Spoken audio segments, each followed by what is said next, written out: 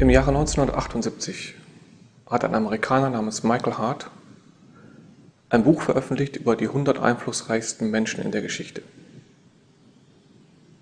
Und er hat sich mit dem Leben von zahlreichen Personen auseinandergesetzt. Und er ist am Ende zu dem Entschluss gekommen, an die Spitze seiner Liste den Propheten Mohammed zu setzen. Und er wusste, dass das viel Kritik hervorrufen würde. Und er fühlte sich deswegen gezwungen, eine Einleitung zu schreiben und sich dafür quasi zu rechtfertigen.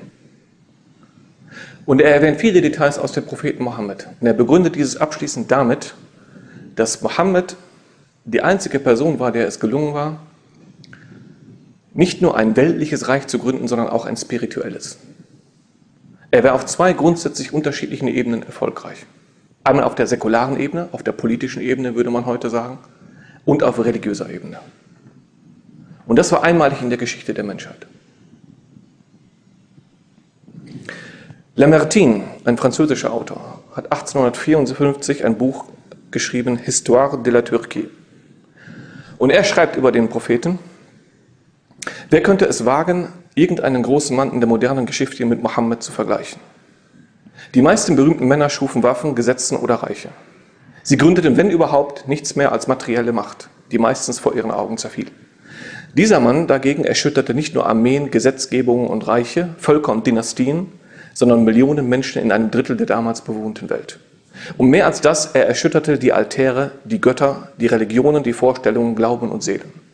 Und er schreibt weiter, ein Philosoph, Redner, Vorkämpfer, Gesetzgeber, Krieger, Bezwinger von Ideen, Wiederhersteller von rationalen Dogmen und einer Verehrung ohne Bildnisse. Der Gründer von 20 weltlichen Reichen und einem geistigen.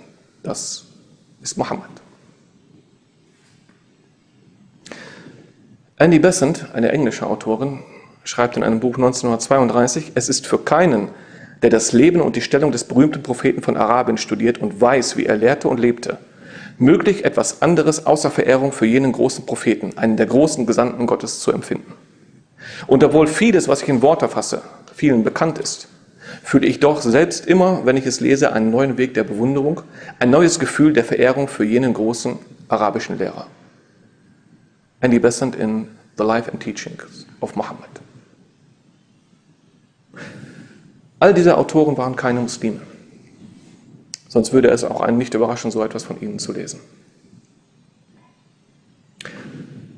Fragt man heute viele Menschen, was sie von dieser Person Mohammed halten, dann hört man in der Regel zwei verschiedene Antworten. Entweder muss er ein Betrüger gewesen sein, der 23 Jahre lang sein Volk über den Tisch gezogen hat, oder er war ein Verrückter, der 23 Jahre lang halluziniert hat. Es ist die Frage, wie Menschen zu solch unterschiedlichen Einschätzungen einer Person kommen. Michael Hart, Lamartine, Ernie Besant auf der einen Seite und viele andere Menschen auf der anderen Seite. Ich denke, der Unterschied zwischen diesen beiden Gruppen liegt darin, dass Michael Hart, Lamartine und Andy Besant sich wirklich mit dem Leben des Propheten beschäftigt haben. Der Prophet hat als einfacher Schafhirte gearbeitet und wurde später Händler. Im Alter von 25 Jahren hat, hat er seinen, man könnte sagen, damaligen Arbeitgeber geheiratet. Es war eine wohlhabende Frau, für die er Geschäfte erledigt hat, und er hat sie mit 25 Jahren geheiratet, wo sie 40 Jahre alt war. Als er selber 40 geworden ist, kam er mit einer Botschaft zu seinem Volk. Und diese Botschaft erhielt eine Fülle von Informationen. Sie enthielt ein komplettes Staatsrecht. So etwas wie eine Verfassung, eine politische Ordnung. Ein Gesetzbuch, ein bürgerliches Gesetzbuch. Ein Handelsrecht. Es enthält Anweisungen für das Benehmen der Menschen untereinander, für das Miteinander der Menschen, für das spirituelle Bewusstsein, für die Verbindung zwischen Seele und ihrem Schöpfer. Informationen aus den unterschiedlichsten Gebieten. Alle vereint in einem Buch. Und das, obwohl er selber weder lesen noch schreiben konnte. Die Frage ist jetzt, woher hatte er diese Informationen? Woher kam dieses Wissen überhaupt zu ihm? Wie kommt jemand, der sich nie mit diesen Dingen auseinandergesetzt hat, der nie lesen oder schreiben konnte, plötzlich mit einem Buch, das die Grundlage war für ein Weltreich, das 1300 Jahre Bestand hatte. Und immerhin von Spanien bis Indonesien und vom Kaukasus bis Südafrika ging. Er selber hatte dafür eine ganz einfache Erklärung. Er sagte, diese Informationen stammen von Gott. Und dass er derjenige ist, der ihm dies offenbart hat. Das kann natürlich erstmal jeder behaupten. Das ist richtig. Das ist zunächst einmal nur eine Behauptung. Wie kann man aber herausfinden, ob das eine richtige Behauptung sein könnte, ob er die Wahrheit gesagt hat? Wie würde man das bei einem Gericht machen? Wenn ein Mensch vor Gericht steht und eine Aussage macht, wie würde man das beurteilen?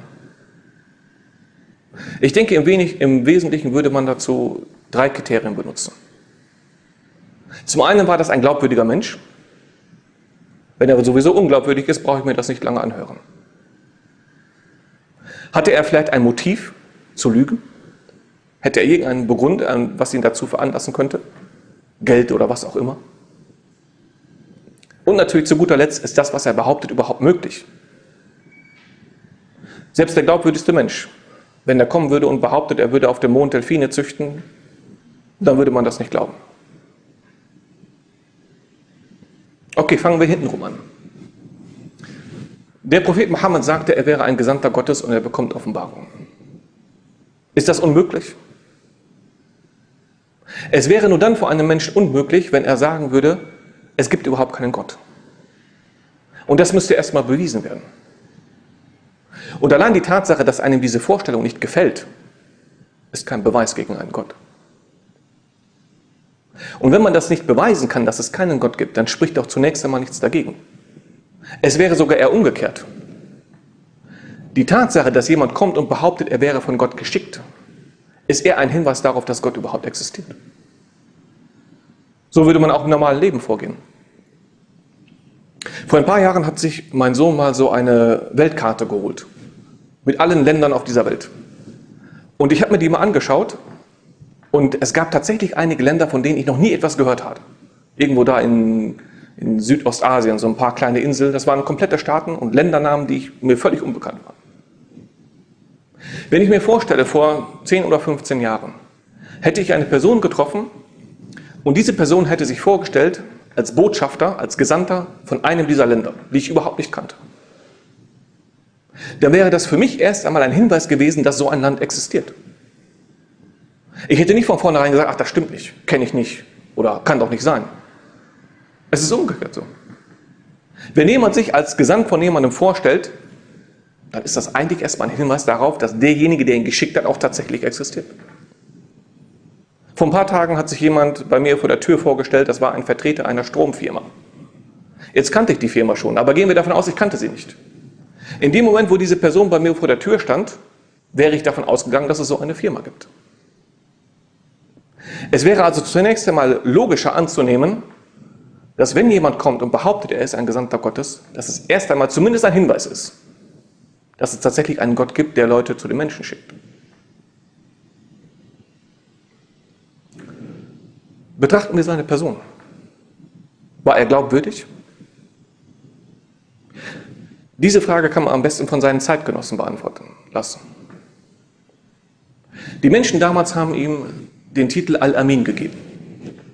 Und Al-Amin bedeutet auf Deutsch so etwas wie der Vertrauenswürdige. Und es war nicht so, dass zur damaligen Zeit alle anderen Menschen nicht vertrauenswürdig waren. Es gab viele davon. Aber man hat ihm diesen Titel gegeben, weil er besonders dadurch ausgezeichnet wurde. Weil man damals gesagt hat, wenn es hier in dieser Stadt, in diesem Land, eine Person gibt, die wirklich vertrauenswürdig ist, dann ist das Mohammed. Es gab einige andere, die waren auch vertrauenswürdig, aber er war besonders. Er war der Letzte, von dem man sich einen Vertrauensbruch hätte vorstellen können. Darum nannte man ihn Al-Amin. Damals war das so, dass wenn Leute verreisten, dass sie ihre Wertgegenstände bei jemandem zur Aufbewahrung gaben. Und äh, der Prophet Mohammed war bekannt dafür. Man hat das bei ihm gerne gemacht, weil man wusste, wenn man ihm etwas gibt, man bekommt das wieder zurück. Selbst als es zu einem offensichtlichen Konflikt zwischen ihm und seinen Mitbürgern kam, selbst zu dem Zeitpunkt haben Leute ihm immer noch etwas angetraut, auch wenn es seine Gegner waren. Der Grund dafür war, weil sie wussten, dass Mohammed das niemals veruntreuen würde. Selbst wenn er unser Gegner ist, wenn wir ihm etwas anvertrauen, er wird das niemals veruntreuen. Er würde niemals Unrecht mit Unrecht vergelten. Das war sein Charakter. Er hat sich aus Wertgegenständen oder solchen Dingen auch überhaupt nichts gemacht. Er ist am Ende bettelarm gestorben. Und er war bekannt dafür, dass er, wenn er etwas besaß, es so schnell wie möglich unter den Leuten verteilte. Man sagte damals über ihn, er hat, also er hat gespendet wie der Wirbelwind. Er war so schnell dabei. Wenn er etwas hatte, er hat gesehen, dass er das unter die Leute brachte. Er hat einmal seiner Frau etwas gegeben, einen kleinen Betrag, den sie spenden sollte. Und als er später kam und hat gesehen, dass sie das noch nicht gespendet hatte, war er schockiert. Er sagte zu seiner Frau, was denkst du, wenn ein Prophet damit am Tag der Auferstehung erwischt wird? Er hat sich aus diesen Dingen nichts gemacht. Wenn jemand zu ihm hinkam, er hat ihm gegeben. Wenn er das hatte, das war überhaupt gar kein Problem. Einmal kam einer seiner Gefährten bei ihm rein und er hat gesehen, wie er lebt. Der hatte so eine einfache Matratze auf dem Boden. Matratze ist zu viel gesagt, das war so etwas aus Palmblättern zusammengesteckt, irgendwie so eine Art Palmmatratze. Und wenn er sich draufgelegt hat, hat man die Abdrücke hier gesehen. Und ähm, an der Wand hing so ein Köcher mit Pfeilen drin und irgendwo noch so ein Wasserschlauch. Und das war alles. Und der kommt rein und fängt an zu weinen. Das war der Führer einer Nation und er sagt zu ihm, hast du gesehen, wie die Herrscher von Rom und Persien leben? Die hatten Schlösser und Paläste und was weiß ich nicht alles. Aber er hat ihm geantwortet, das ist für die Leute in dieser Welt. Wir bekommen das später. Das war nicht sein Ziel. Er ist dem nicht hinterhergelaufen. Man sagte damals über ihn, wenn man ihn um einen Gefallen gebeten hat, dann war er immer bereit, das zu tun. Man hat ihn beschrieben als jemanden, wenn ein kleines Mädchen kam, das konnte ihn an die Hand nehmen und quer durch die ganze Stadt ziehen, um für ihn irgendeine Sache zu erledigen. Einmal kam selbst eine verrückte Frau zu ihm. Die war nicht bei Sinnen. Und sie hatte irgendein Anliegen und er ist einfach mitgegangen und hat das für sie erledigt. Selbst wenn man ihn auf grobe Art und Weise um etwas gebeten hat, dann hat er einem gegeben. Selbst wenn man ihn beleidigt hat, er hat das niemals erwidert. Einmal kam ein Beduine zu ihm, packt ihn von hinten an, Kragen, an dem Kragen, reißt ihn herum und sagt ihm, Mohammed, gib mir was von dem, was dir gegeben wurde. Und er hat das, er hat das so rau gemacht, dass die Abdrücke von, von seinem Kragen sich hier an dem Hals abgebildet haben. Er drehte sich um, lächelte und der Beduin hat etwas bekommen. Als er nach Medina ausgewandert wurde, nachdem die Muslime 13, als er nach Medina ausgewandert war, nachdem die Muslime 13 Jahre verfolgt wurden in Mekka, haben sie am Anfang zum Aufbau einer Gemeinschaft sich Geld geliehen. Und nach einigen Tagen kam einer dieser Personen, von denen sie sich etwas geliehen hatten, kam zum Propheten Mohammed. Und das war noch vor der Frist, also das Geld war noch gar nicht fällig. Er geht zum Himmel, er sitzt mit seinen Leuten, packt ihn am Kragen und sagt, Mohammed, wo ist mein Geld? Ich kenne euch, ihr verzögert immer eure Rückzahlung von Schulden. Und einer seiner Gefährten, einer der Gefährten des Propheten Mohammed, er stand auf und wollte ihn töten. Er hatte, wie kann das sein? Wie geht er mit dem Propheten um? Aber Mohammed sagt zu ihm, lass ihn. Geh mit ihm, gib ihm sein Geld und gib ihm noch etwas dazu, weil du ihm Angst eingejagt hast. Okay, er geht mit und gibt dieser Person das Geld zurück und noch etwas dazu. Und diese Person fragt, was ist das hier? Wieso habt ihr mir noch mehr gegeben? Und er antwortet ihm, das hat der Prophet mir gesagt. Das ist das, was dir zusteht und noch etwas mehr, weil ich dir Angst eingejagt habe als Ausgleich. Und dann sagte derjenige, weißt du, wer ich bin? Mein Name war Zaid ibn Sa'na. Und der andere fragt, der jüdische Rabbi? Er sagte, ja. Warum hast du den Propheten so behandelt? Er sagte zu ihm, ich habe bei ihm alle Anzeichen eines Propheten gesehen. Bis auf zwei. Seine Geduld überwiegt seinen Zorn und je unverschämter man ihm gegenüber ist, desto freundlicher wird er. Aus diesem Grund habe ich ihn so behandelt und ich habe festgestellt, dass er ein Prophet ist. Und er hat den Islam angenommen. Und seinen Charakter sieht man, als die Muslime die Stadt Mekka zurückerobert haben. Sie waren dort 13 Jahre lang. Und die haben nichts angestellt, außer ihre Religion zu predigen. Und sie wurden von den Leuten in Mekka auf das Übelste behandelt. Das fing an mit einer einfachen Verleumdung und das ging hin bis Folter und Tod. Und alles, was, dazwischen, was man sich dazwischen vorstellen konnte. 13 Jahre lang. Und sie haben das nie erwidert. Sie haben es einfach so ertragen. Wenn man diese 13 Jahre betrachtet, dann gibt es keine, keine Zweifel daran, wer, die, wer wen angegriffen hat. Das war eine ganz ein, eine eindeutige Sache. Es kam allein von einer Seite. Die Muslime haben sich nie gewehrt. Nach 13 Jahren sind sie geflohen, weil sie es nicht mehr aushalten konnten. Zehn Jahre später kehren sie siegreich zurück. Was würde wohl eine Armee in der heutigen Zeit machen? Ein Land, eine Nation, was 13 Jahre lang auf das Übelste unterdrückt wurde und kommt nach zehn Jahren siegreich zurück. Was machen die? Rauben, morden, plündern. Das ist die Realität. Aber was machte der Prophet Mohammed? Er kommt zurück in seine Heimatstadt und er fragt die Leute, was erwartet ihr, was, was ich jetzt mit euch mache? Aber die Leute kannten ihn. Sie wussten, er vergilt nicht Unrecht mit Unrecht. Und sie haben selbst da noch gesagt, nur das Beste. Und er sagte zu ihnen, euch ist vergeben, euch soll kein Leid geschehen. Und damit war die Sache erledigt. Und innerhalb von kurzer Zeit konvertierte die ganze Stadt zum Islam. Betrachtet man diesen Charakter von diesem Menschen, ich glaube, wenn es jemanden gab, der glaubwürdig war, dann war es der Prophet Mohammed. Hätte man einen solchen Menschen heute in seiner Nachbarschaft wohnen, das wäre der beliebteste Mensch überhaupt. Und würde man einen solchen Menschen in der Presse verleumden und schlecht über ihn reden, dann wären es nicht seine eigenen Anhänger, die ihn verteidigen würden, das wären die Nachbarn, die ihn kennen. Völlig unabhängig von ihrer Religion.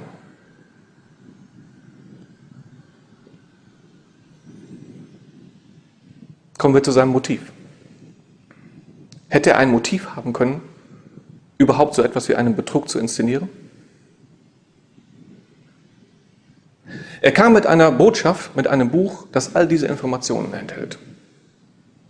Und es ist immer noch die Frage, woher das stammt. Gehen wir davon aus, es stammt nicht so, wie er sagte, von, von Gott selber, als eine Offenbarung. Dann gibt es noch die Alternative, er hat sich mit den Leuten damals zusammengesetzt. Er hat einige wissenschaftliche Dinge von den Griechen erfahren, vielleicht auch was, etwas über die Staatskunst, über Kriegskunst, über andere Dinge. Er hat sich halt mit verschiedenen Leuten zusammengesetzt, um diesen ganzen Betrug zu inszenieren. Das ist die Alternativtheorie. Denn irgendwoher müssen ja diese ganzen Informationen kommen. Okay, sagen wir, er war ein Betrüger.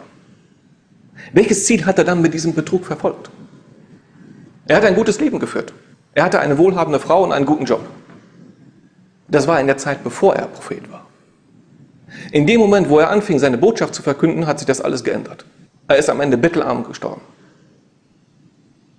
Er war beliebt bei seinem Volk. Er war ein gern gesehener Gast.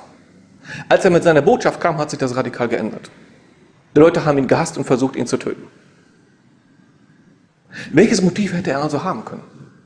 Ein Betrüger verfolgt immer irgendein Ziel. In der Regel ist das Geld oder vielleicht die Macht zu erlangen oder was auch immer. Aber es muss ja ein, ein Motiv dahinter stecken.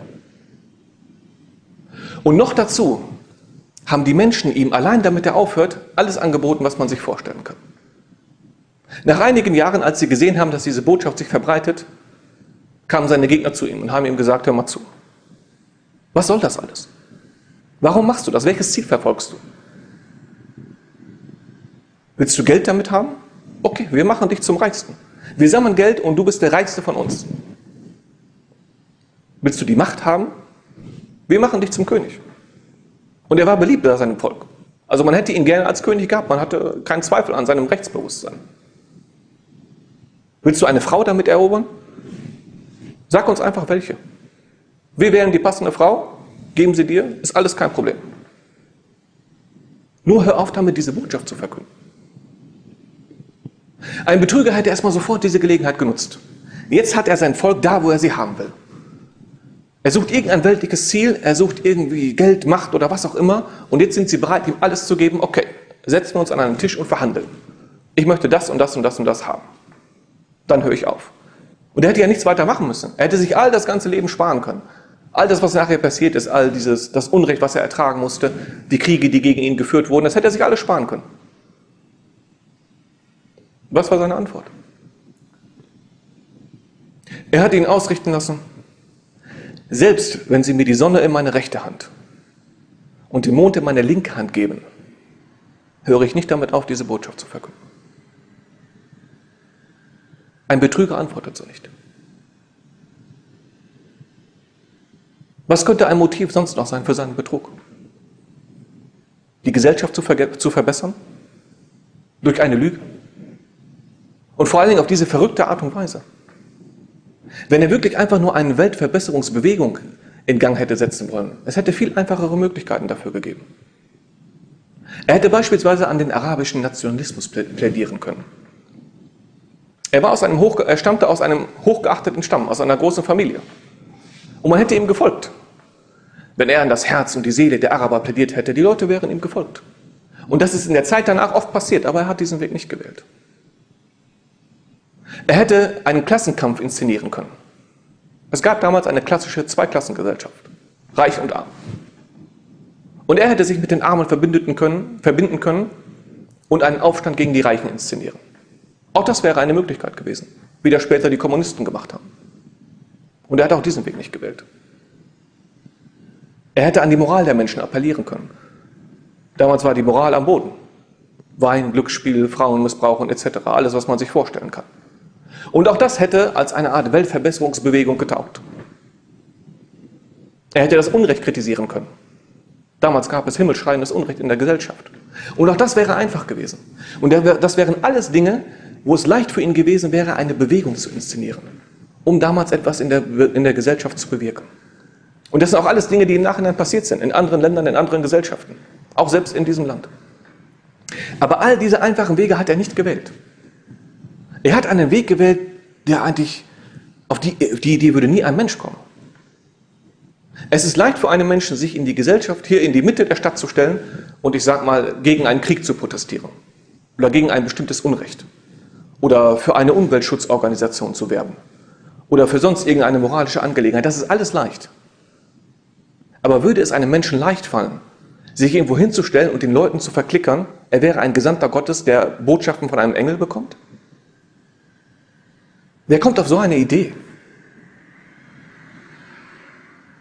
Bleibt noch die Alternative. Er könnte ein Verrückter gewesen sein. Er könnte sich das alles eingebildet haben. Und das bevorzugen tatsächlich einige als, als nähere Theorie, als bessere Erklärung. Denn sein Charakter passt nicht zu einem Betrüger. Wenn man sein Leben betrachtet, kommt man niemals auf die Idee, er hätte jemanden betrügen können. Dann könnte er sich das immer noch eingebildet haben. Er hat halluziniert. Es kam irgendein Engel und er hatte Visionen davon und das hat er verkündet. Aber kann man sich vorstellen, dass jemand eine Botschaft bringt, die Grundlage ist für einen Staat, der 1300 Jahre Bestand hat? Und das alles gründet sich einfach nur auf Einbildung? Weil irgendjemand halluziniert hat? Macht das einen Sinn? Und noch dazu muss man ja erklären, woher all diese Informationen kommen. Was er gebracht hat, das hatte Bestand.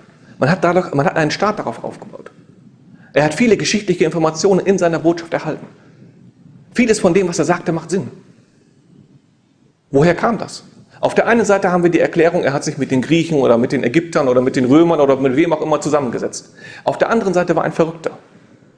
Das passt beides nicht zusammen. Ein Verrückter, der hätte sich nicht mit anderen Leuten abgesprochen. Der ist der Überzeugung, er bekommt das alles schon. Man müsste das beides irgendwie versuchen zu kombinieren. Man hat auf der einen Seite die ganzen Informationen, die er sich vom Menschen geholt hat, auf der anderen Seite einen Verrückten. Das passt nicht zusammen. Es gab eine interessante Begebenheit, als er in Medina wohnte und als sein Sohn geboren war. Er hatte einen Sohn namens Ibrahim. Und äh, der ist im Alter von sechs Monaten gestorben. Und am selben Tag passierte eine Sonnenfinsternis. Und die Leute sind schon auf die Straße gegangen und die haben gesagt, hey, guck mal, das ist ein Zeichen Gottes. Die Sonne verdunkelt sich, weil der Prophet traurig ist. Was hätte ein Verrückter gemacht? Er hätte dieses Zeichen selber für wahr gehalten. Der wäre rausgegangen und hätte gesagt, wow, das ist wirklich ein Zeichen Gottes, ich wurde bestätigt. Was hätte ein Betrüger gemacht? Ein Betrüger hätte diese Situation ausgenutzt. Die Leute waren schon auf der Straße und sie waren bereit, das als Zeichen göttlicher Fügung zu akzeptieren. Und was macht der, Prophet Mohammed? Er geht raus zu den Leuten und sagt ihnen, Sonne und Mond haben nichts damit zu tun, ob ein Mensch geboren wird oder stirbt. Das wäre die Gelegenheit gewesen für einen Betrüger. Es wäre das Zeichen für einen Verrückten gewesen und er hat das so von vornherein abgelehnt. Was ist jetzt die plausibelste Erklärung von allem? Wenn man das alles betrachtet. Das Einfachste ist, er hat die Wahrheit gesagt. Das ist die naheliegendste Erklärung. Wenn heute jemand kommen würde und würde behaupten, er ist ein Prophet, ein Gesandter Gottes, was würden die Leute von ihm verlangen? Wunder, Zeichen, irgendetwas in diese Richtung. Bring uns ein übernatürliches Phänomen. Und das haben auch die Leute damals gemacht. Und es ist aber nicht so, dass es damals, dass es daran gemangelt hat. Dass er ein Prophet war, dem im Gegensatz zu anderen Propheten keine Zeichen gegeben wurde. Aber die meisten Wunder, die man von Propheten kennt, die sieht man heute nicht mehr. Und das ist der Unterschied zum Propheten Mohammed. Das größte Wunder von ihm, was der eigentliche Beweis für, seine Prophet, für sein Prophetentum ist, das ist heute noch vor unserer Nase erhalten. Das ist nämlich der Koran.